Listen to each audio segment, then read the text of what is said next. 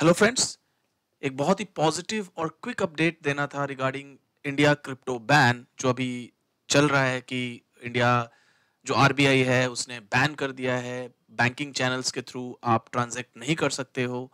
तो अभी एक रीसेंट न्यूज़ आई है फ्रेंड्स इंडिया में not ban crypto currencies but treat them as commodities तो एक सोर्सेज से इंफॉर्मेशन आई है, जो कि गवर्नमेंट पैनल के हेड हैं। उन्होंने किसी न्यूज़ पब्लिकेशन को बताया है और वही न्यूज़ अभी क्वाइन टेलीग्राफ पे जो है पब्लिश हुई है।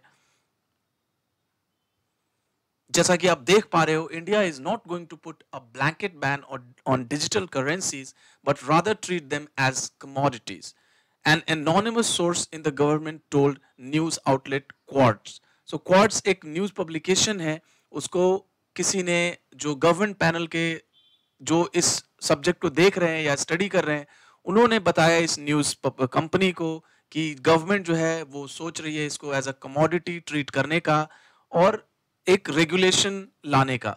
जो कि मैं पहले से भी कह रहा हूँ फ्रेंड्स कि blanket ban is not going to happen क्योंकि अगर ब्लैंकेट बैन होना होता तो बहुत पहले हो चुका होता।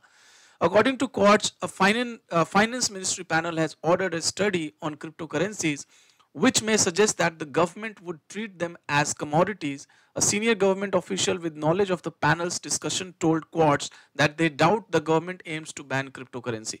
So they highly doubt कि blanket ban होगा. The sources said that regulators' main concern is how to effectively regulate the trade and identify where the money is coming from. जो सबसे बड़ा जो confusion है या जो hectic job है government के लिए To regulate और टू ट्रैक कि कहाँ से मतलब फंड आ रहा है और जो इन्वेस्टमेंट हो रही है वो पैसा लीगल है या नहीं है? मतलब मनी लॉन्ड्रिंग को प्रिवेंट करने का। ये सबसे बड़ा डिफ़िकल्ट टास्क है फॉर दी गवर्नमेंट ऑफिशियल्स एक कोट है जो गवर्नमेंट uh, ऑफिशियल ने कहा है trade is not a criminal offence most of us trade in various asset classes in the stock market उन्होंने कहा है कि ट्रेडिंग करना कोई भी एक क्रिमिनल uh, ऑफेंस नहीं है।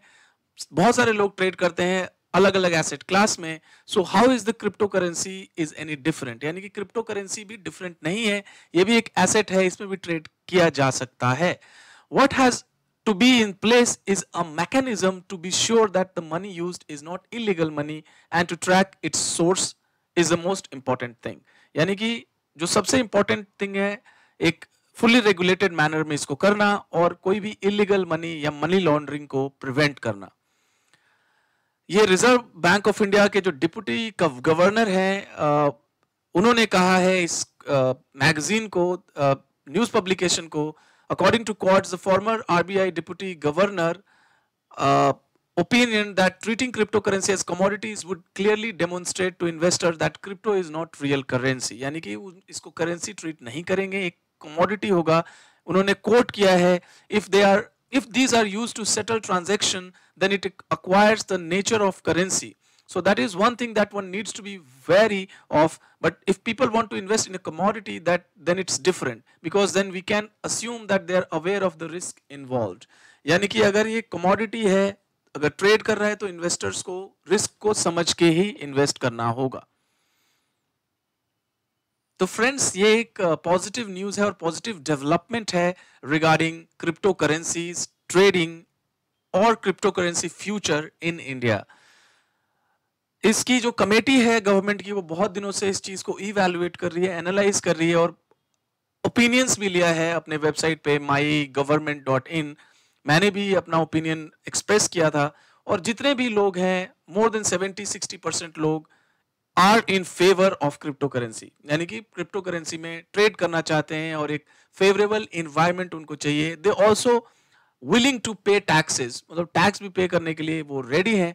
तो मुझे लगता है एक whole new emerging asset class है जो ये इमर्ज हो रहा है और कहीं ना कहीं गवर्नमेंट को भी इसमें अपॉर्चुनिटी दिख रही है। They are going to tax तो मुझे नहीं लगता कि कोई भी घबराने की ज़रूरत है फ्रेंड्स अगर आरबीआई ने जो बैन किया है बैंकिंग चैनल का वो मेरे को लग रहा है बहुत ही जल्दी रिवर्स भी हो जाएगा, क्योंकि गवर्नमेंट के अंदर से जो सोर्सेज हैं, यही इंफॉर्मेशन बार बार निकल के आ रही है। इनफैक्ट मैंने एक वीडियो पहले ही बनाया था जिसमें सुभाष चंद्र गर्ग ने क्लियरली बोला था कि वो काफ़ी आगे पहुँच गए हैं डेवलपमेंट में और बहुत जल्दी जो है वो ड्राफ्ट तैयार होगा और इस पर रेगुलेशन बहुत जल्दी से जल्दी आएगा।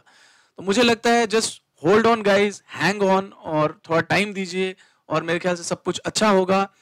जो भी आपका इन्वेस्टमेंट है, अच्छे प्रोजेक्ट में आप इन्वेस्ट करो होल्ड करो। क्रिप्टो इज़ द फ्यूचर मुझे लग रहा है आज के डेट में बहुत ही लुक्रेटिव इन्वेस्टमेंट एसेट क्लास है क्रिप्टो और इससे ज़्यादा रिटर्न मुझे नहीं लग रहा है किसी भी एसेट क्लास में in next two to five years देखने को मिलेगा। तो फ्रेंड्स एक ये क्विक अपडेट था। होप आप लोगों को ये वीडियो पसंद आया होगा। अगर आपको पसंद आया है तो प्लीज़ मेरे चैनल को आप सब्सक्राइब करें शेयर लाइक एंड कॉमेंट करें। Thank you for watching have a great day